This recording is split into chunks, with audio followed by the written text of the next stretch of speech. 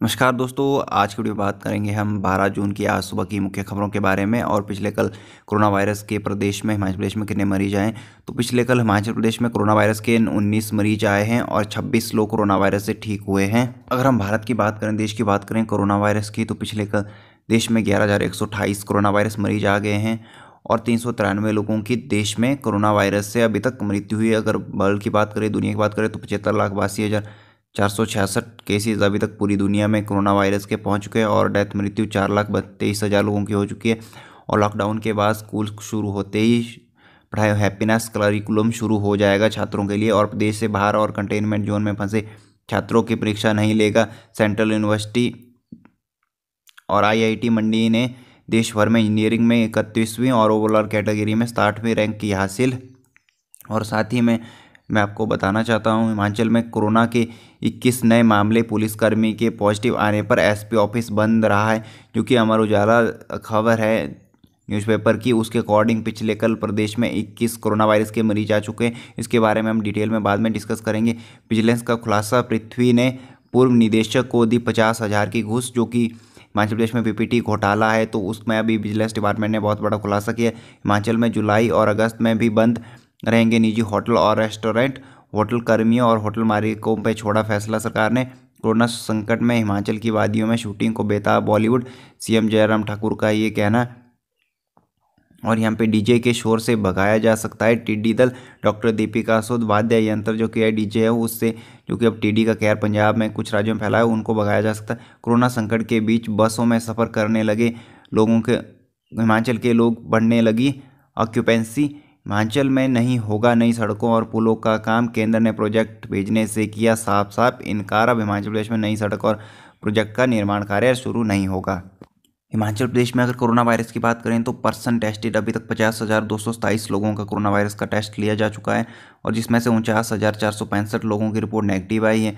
दो सौ सतासी के रिज़ल्ट अभी आने वाले हैं, आ जाएँगे जो और पर्सन पॉजिटिव चार सौ सत्तर लोग अभी तक कोरोना वायरस से पॉजिटिव पाए गए और जिसमें से उन्नीस केस कोरोना वायरस के पिछले कल ही आए हैं। माइग्रेटेड आउट केसेस बाहर इलाज करने के लिए ग्यारह लोग गए हैं और एक्टिव केसेज इन स्टेट एक सौ सत्तर केसेज एक्टिव है और यहाँ पे एजुके आइसोलेशन में और पिछले कल जो कि छब्बीस लोग डिस्चार्ज भी हुए हैं हॉस्पिटल से रिकवर्ड पेशेंट तो यहाँ पे दो सौ छिहत्तर यहाँ पे रिकवरी रेट है जो कि पेशेंट है टोटल और यहाँ पे छः लोगों की मध्य प्रदेश में कोरोना वायरस से मृत्यु हुई। यहाँ पे आप थोड़ा सा आंकड़ा देख लीजिए। पिछले कल हमीरपुर से दो और कांगड़ा से आठ उन्ना से तीन सोलन ज़िले से दो और चंबा ज़िले से दो और सिरमौर ज़िले से एक और शिमला ज़िले से कोरोना वायरस का केस आए हैं, जो कि कुल मिला के उन्नीस केसेस होते हैं। अगर हम भारत की बात कोरोना वायरस की करें तो पिछले कल विस्तार से ग्यारह हज़ार एक सौ अठाई केसेज आए हैं और दो लाख अठानवे हज़ार दो सौ तिरासी एक्टिव केसेज देश में हो चुके हैं। Sorry confirm cases corona virus के हो चुके हैं। और एक्टिव केसेस की बात करें तो एक लाख बयालीस हज़ार सात सौ पचानवे है और रिकवरी जो कि पिछले कल छः हज़ार चौतालीस लोगों की हुई है। एक लाख छतालीस हज़ार अभी लोग देश में कोरोना वायरस से ठीक भी हो चुके हैं और आठ हज़ार पाँच सौ एक लोगों की अभी तक कोरोना वायरस से देश में मृत्यु हो चुकी है, पर पिछले कल तीन सौ तिरानवे लोगों की कोरोना वायरस से देश में मौत हुई है। और यहाँ पे आप स्टे, सॉरी, जो कि स्टेट वाइज आंकड़ा है, उसे देख सकते हैं, जो कि सबसे ज़्यादा केस महाराष्ट्र से आए, फिर तमिलनाडु, दिल्ली और यहाँ पे आंध्र प्रदेश, जम्मू, कश्मीर, यहाँ पे तेलंगाना देख सकते हैं। असम, यहाँ पे पूरी की पूरी जितनी भी स्टेट्स है, उन सभी का आंकड़ा यहाँ पे सबसे कम केसेस सिक्किम से है। यहाँ पे देखिए सिक्किम में फ़िलहाल तेरह केसेज आए हैं और यहाँ पे एक्टिव केसेस जो कि, सॉरी, कन्फर्म केसेस जो कि यहाँ पे है, दस केसेस यहाँ पे है। और यहाँ पे देखिए, वर्ल्ड में अगर बात करें तो कोरोना वायरस केसेस की तो यहाँ पे पचहत्तर हज़ार बासी, सॉरी, पचहत्तर लाख बासी हज़ार चार सौ छियासठ कोरोना वायरस मरीज़ हो चुके हैं और चार लाख यहाँ पे मृत्यु हो चुकी है, चार लाख तेईस हज़ार पचहत्तर लोगों की। और यहाँ पे जो कि एक्टिव केसेस है वो तैंतीस लाख छब्बीस हज़ार दो सौ छियासठ एक्टिव केसेस है जो कि पूरे वर्ल्ड में है और जिसमें से दो परसेंट क्रिटिकल है। और यहाँ पे देखिए सबसे ज़्यादा केसेस पिछले कल ब्राज़ील से है जो कि दूसरे नंबर पे है यूएसए में बाईस हज़ार केसेस आए तो ब्राज़ील में तीस हज़ार केसेस आए। और अगर भारत की बात करें तो आंकड़ों में बड़ा उलट फेर करते हुए भारत छठवें नंबर से चौथे नंबर पर आ चुका है। अगर हम बात करें अब रशिया को तो रशिया को पछाड़ने में भारत को काफ़ी ज़्यादा टाइम लग जाएगा जिस हिसाब से केसेज आ रहे हैं। तो यहाँ पे दो तीन हज़ार केसेज रशिया से ज़्यादा आ रहे हैं भारत को। तो यहाँ पे भारत को कम से कम पैंतालीस दिन सक, लग सकते हैं रशिया को पछाड़ते हुए अगर दस हज़ार केसेज डेली भारत में आते अगर ऐसे ही बीस या तीस हज़ार केसेज आते तो भारत रशिया को जल्दी जल्दी बीस या पच्चीस दिन में पछाड़ देगा। अगर इतने ही दस हज़ार के करीब करीब भारत में केसेस आते रहे तो भारत चौथी पोजीशन पे ही बना रहेगा। कम से कम चालीस से पैंतालीस दिन तक, शायद तब तक कुछ आंकड़ों में इम्प्रूवमेंट हो जाए, जिसमें से आंकड़े घट जाए। क्योंकि अगर भारत में स्वास्थ्य विभाग में थोड़ा सा सरकार अच्छे से करेंगी और स्वास्थ्य विभाग भी यहाँ पे कुछ अच्छे से कोई नया प्रयोग कर ले तो यहाँ पे देखिए और भी आंकड़ा देखिए सबसे ज़्यादा बड़ी बात है डेथ रेशो की यहाँ पे और डेथ रेट की। तो भारत में अभी तक आठ हज़ार पाँच सौ एक लोगों की ही मृत्यु हुई है। जिस हिसाब से भारत में मृत्यु हो रही है, प्रतिदिन तीन सौ से साढ़े तीन सौ लोगों की मृत्यु हो रही है। तो तीस दिन में नौ या दस हज़ार लोगों की और मृत्यु हो सकती है, जो कि मृत्यु दर आंकड़ा है, वो बढ़ सकता है। हालाँकि आपको जो कि यहाँ के केसेस के आधार पर देखा जाए तो वो कम है। क्योंकि भारत में जितने ज़्यादा केस आ रहे हैं, उस हिसाब से जो कि डेथ रेशो है, अगर सौ केसेस में से देखा जाए या दो लोगों का, बट जो ओवरऑल देखा जा रहा है, जहाँ पे आठ हज़ार पाँच सौ एक लोगों की अभी तक मौत हुई है देश में, वहीं पे ये मौत फिर ज़्यादा हो जाएगी क्योंकि एक तीस दिन में ही दस या पंद्रह हज़ार लोगों की मृत्यु होने वाली है। तो यहाँ पे बीस हज़ार, तीस हज़ार जो कि फिर इटली या स्पेन को छोड़ देगा, जहाँ पे इटली और स्पेन में कोरोना वायरस के मरीज़ हालाँकि कम है, भारत में ज़्यादा है, उस हिसाब से अगर ओवरऑल जो कि परसेंटेज हम देखते हैं वो कम रहेगी, डेथ परसेंटेज कम है भारत में। बट जो कि केसेस है, जो कि आंकड़ों में अगर हम यहाँ पे बात करें विदाउट परसेंटेज को छोड़ के अगर कि कितने लोगों की मृत्यु कौन सी कंट्री में सबसे ज़्यादा हुई है तो वो फिर भारत में यहाँ पे हो सकता है। क्योंकि यहाँ पे ब्राज़ील और यूएसए के बाद भारत का नंबर यहाँ पे पड़ सकता है। और भी यहाँ पे आप स्टेट्स देख सकते हैं न्यू केसेज एक्टिव केसेज और पर मिलियन टेस्ट कितना हुआ है इस आंकड़े में, जो कि बर्डोमीटर वेबसाइट से यहाँ पे लिया गया है। हिमाचल प्रदेश में लॉकडाउन के बाद स्कूल शुरू होते ही छात्र पढ़ेंगे हैप्पीनेस करिकुलम। दिल्ली सरकार के बाद यहाँ पे हिमाचल सरकार ने भी ये फैसला लिया है। यहाँ पे देखिए, जो कि शिक्षा बोर्ड हिमाचल प्रदेश है, उन्होंने ये साफ़ साफ़ कर दिया कि हैप्पीनेस करिकुलम को जब छठी क्लास से ग्यारहवीं क्लास तक हिमाचल प्रदेश में पढ़ाया जाएगा और प्रदेश से बाहर और कंटेनमेंट जोन में फंसे छात्रों की परीक्षा नहीं लेगा सेंट्रल यूनिवर्सिटी, जो कि यहाँ पे कांगड़ा है तो यहाँ पे साफ़ साफ़ कर दिया है सेंट्रल यूनिवर्सिटी ने, जो कि सेमेस्टर परीक्षा होगी, उसमें अब जो कि परीक्षा हॉल है सैनिटाइज किए जाएँगे और बाकी जो भी यहाँ पे उनके एग्ज़ाम नहीं किए जाएँगे, जो कि रेड जोन में है यहाँ पे। आईआईटी मंडी ने देश भर में इंजीनियरिंग में इकतीसवीं और ओवरऑल कैटेगरी में में रैंक हासिल की है।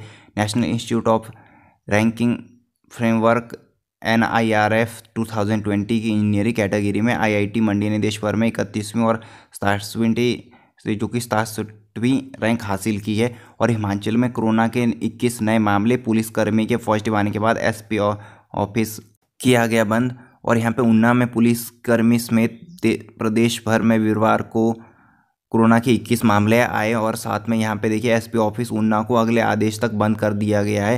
हिमाचल प्रदेश में दूसरी घटना हो चुकी है। इससे पहले हिमाचल प्रदेश पुलिस मुख्यालय को भी बंद कर दिया गया था। विजिलेंस का खुलासा पृथ्वी ने पूर्व निदेशों को दी थी पचास हज़ार की घूस। पाँच लाख के लेन देन से जुड़े वायरल ऑडियो मामले में गिरफ़्तार पृथ्वी सिंह की पुलिस रिमांड बढ़ाने के दौरान विजिलेंस ने बड़ा खुलासा किया है। विजिलेंस ने कोर्ट को बताया कि पृथ्वी ने बतौर घूस पचास हज़ार रुपये तत्कालीन स्वास्थ्य निदेशक डॉक्टर ए के गुप्ता को पहुँचाए थे। साथ ही वह पाँच लाख के लेन देन पर जारी जानकारी नहीं दे रहा है। पृथ्वी सिंह फर्म के लिए काम करता था। इसके मालिक जी एस कोहली से भी कोविड की वजह से पूछताछ नहीं हो सकी, ऐसा इसीलिए क्योंकि उसे होम क्वारंटीन रखने के लिए कहा है। और हिमाचल में जुलाई और अगस्त में बंद रहेंगे निजी होटल और रेस्टोरेंट। सरकार ने जो कि हिमाचल में जुलाई और अगस्त में निजी होटल और रेस्टोरेंट बंद रहेंगे। टूरिज़्म इंडस्ट्री स्टेक यहाँ पे जो कि एसोसिएशन महेंद्र सिंह ने कहा है कि जो कि उन पे अब सरकार ने मामला छोड़ दिया कि जो कि होटल मालिक है, अब कब होटल खोलना चाहते, कब नहीं खोलना चाहते और कोरोना संकट में हिमाचल की वादियों में शूटिंग को बेताब बॉलीवुड सीएम जयराम ठाकुर का ये कहना है, कोरोना संकट के बीच अनलॉक हिमाचल की दिलकश वादियों को रूप पहले पर्दे पर जो कि बॉलीवुड है, वो दर्शाना चाहता है।